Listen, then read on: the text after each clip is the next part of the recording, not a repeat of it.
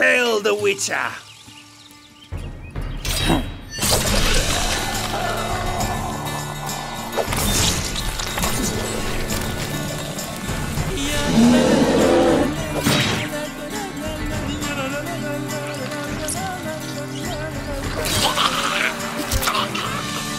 Can I have a little silence, please? I'm trying to get some work done in here. Thank you. Jesus.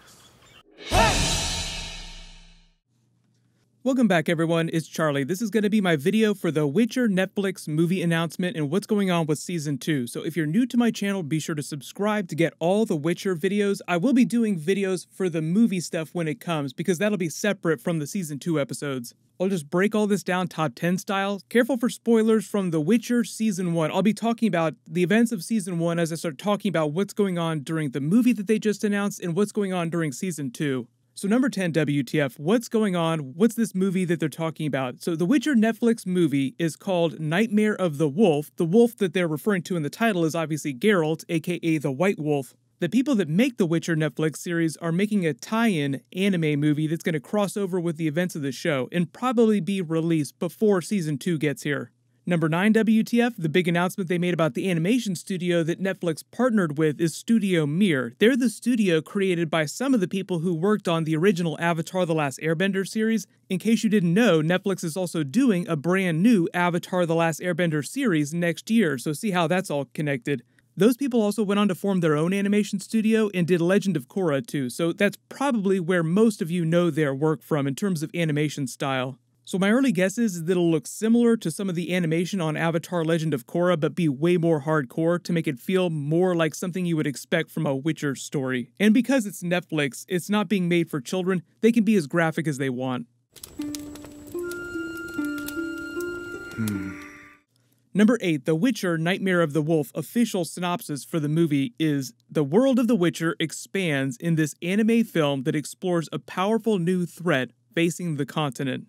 So that's pretty brief. It doesn't tell you a lot about what the plot is going to be, but when they speak of expanding the world of The Witcher with Geralt facing a powerful new threat, it sounds like they're adapting a story that's not completely told in the books, and it also sounds like a prequel story mostly I think in service of not spoiling the events of season 2 or future seasons, because I do think that season 2 is going to start right after the end of the finale where Geralt meets Ciri here. If you haven't read the Witcher books, which is what they're using to adapt the TV show episodes, Season of Storms is a good example. It's the most recent Witcher book that's been published, but it's a short story that takes place way earlier in the timeline between the events of The Last Wish after Geralt and Yennefer part ways like you see during the Witcher Netflix episode 6. Like she bolts, she's like, that's it, I've had enough of you but the Season of Storm's adventures take place before Sword of Destiny, where he and Ciri come together, like we saw during the finale.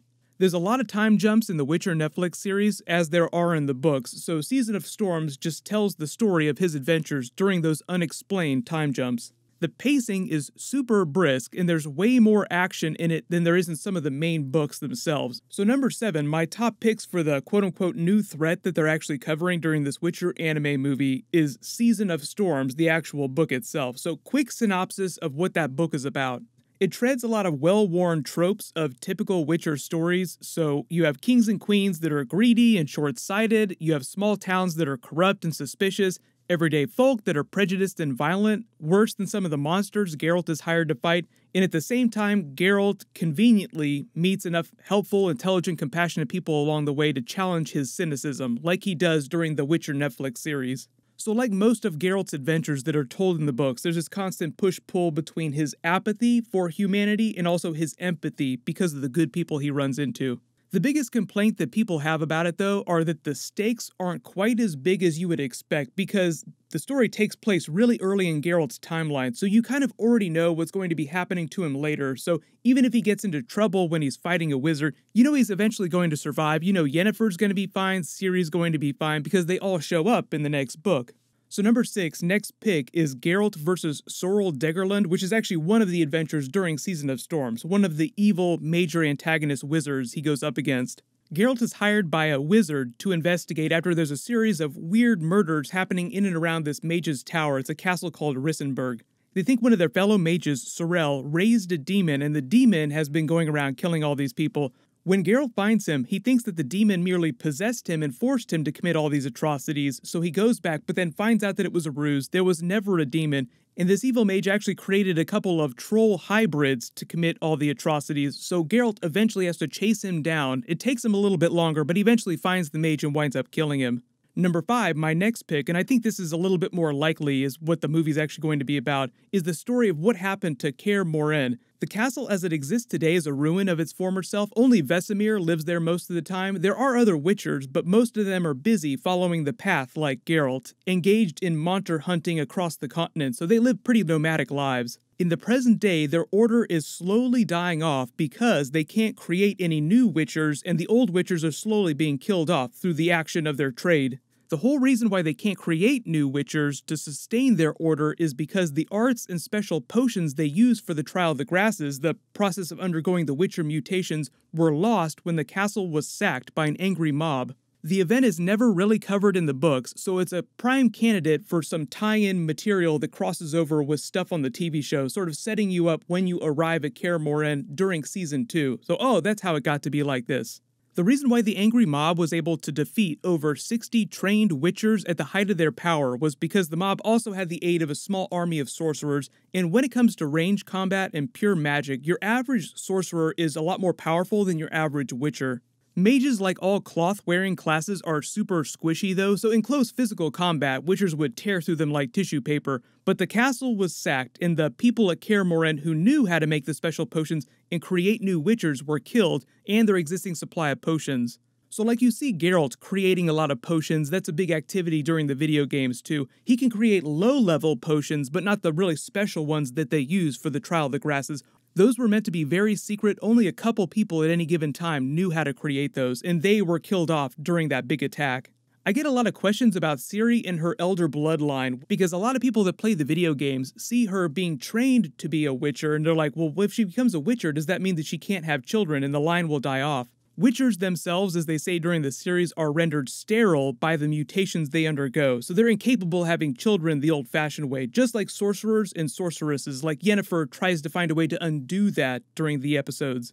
But because the special potions were lost and they can't create new Witchers, so number 4, that's why you see Geralt in the video games training Ciri at Kaer Morhen, and later she grows up to kind of be a Witcher of sorts, but not a true Witcher the same way Geralt is. She doesn't undergo the mutations, so she still technically could have children. The thing about the books, though, because the TV show is adapting the books, and there's still a ton of book story, they could go four, five, six, seven seasons if they wanted to. I believe at the end of the book story, she's still technically in her late 20s. So a lot of the book story leaves off with you just kind of wondering what's going to happen to her in the future, so it's sort of left to speculation.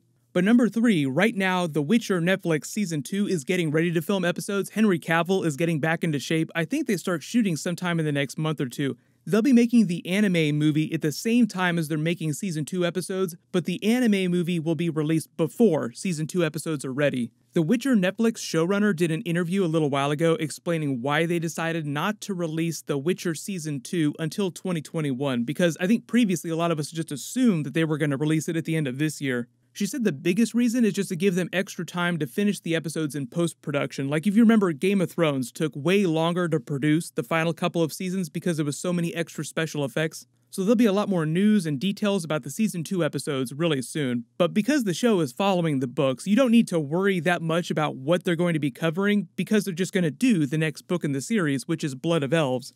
I did a whole big season 2 top 10 predictions video about what parts of the book I think they're going to adapt and what the Netflix series is going to change from the books because they already changed a bunch of the book story for season 1, so I'll link that video at the end of this. But number 2 WTF, for the most part, season 2 is going to pick up right after this moment here in The Witcher episode 8 ending where Geralt meets Ciri in the woods for the first time and she asks him WTF is Yennefer. The whole reason why she knows Yennefer's name, despite never having met her, seen her, or ever heard her name, is because of Ciri's elder blood power and the law of surprise that binds her to Geralt, caused her to see him in her dreams. That was what the crazy dream sequence was all about. He was wandering around in the dark earlier screaming Yennefer's name. That psychic connection is mostly because of the elder blood magical power within her. So she doesn't actually know who Yennefer is. She's just asking Geralt, who's that chick you were just screaming about like a madman? When season 2 picks up, they'll probably head for Kaer and search for Yennefer on the battlefield at Sodden Hill nearby, since that's on the path to Kaer.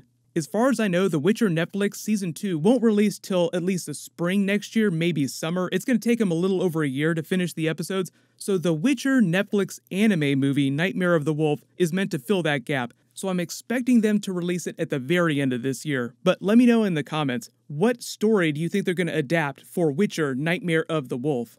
There's a bunch of stuff coming up. I'll also be doing bonus videos for The Witcher Netflix Season 2, so leave all your requests in the comments too. Everyone, click here for my new Witcher Netflix Season 2 Top 10 Predictions video, and click here for my brand new Mandalorian Season 2 video. Thank you so much for watching. Everybody stay awesome.